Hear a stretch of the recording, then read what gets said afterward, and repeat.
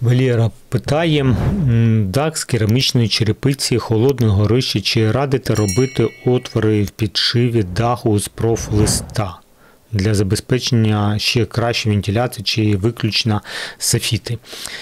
Е, Не обов'язково лише софіти, Валєра. У нас є вже на каналі е, вебінар присвячений вентиляції горища. Будь ласка, зайдіть, подивіться. Е, Тут нема значення, як ви формуєте приплив повітря. З підшивки, е, робите зазор біля ринви. Нема значення. Ставите вентиляційні ріші- решітки, або ставите перфорований, робите підшивку, або взагалі не робите підшивку.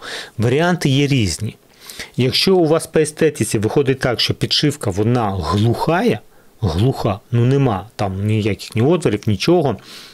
В такому випадку вам треба робити приплив повітря в зоні ринви між двох крапельників. Розумієте? Тому, е, Валєр, на жаль, я не бачу конструкції, ну, не знаю, яка конструкція вашого даху повністю, яка естетика. Ну, варіанти, ну, вони є. Є.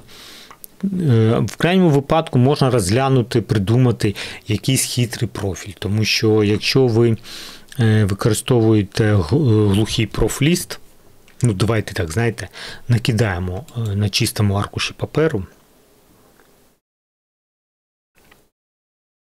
Е, Тобто у нас є кроква, нам треба зробити підшивку, і якщо у вас по естетиці е, класично ми робимо П-образний профіль, і потім тут, боже мій, і тут кутик для того, щоб покласти.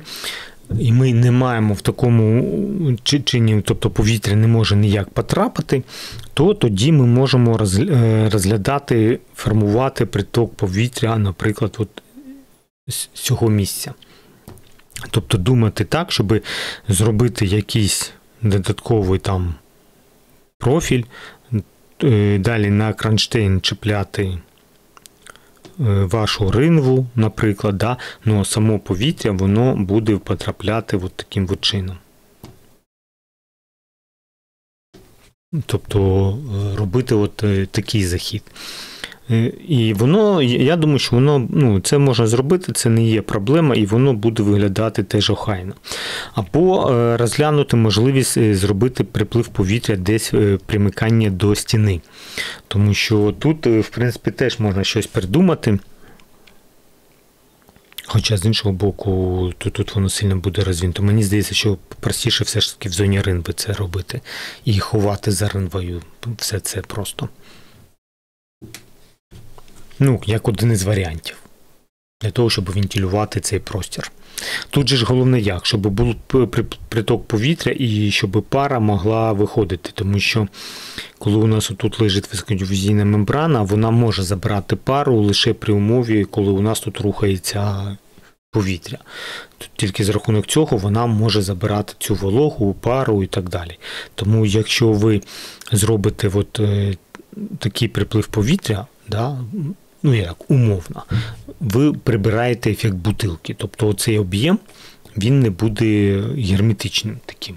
І у вас буде легкий доступ.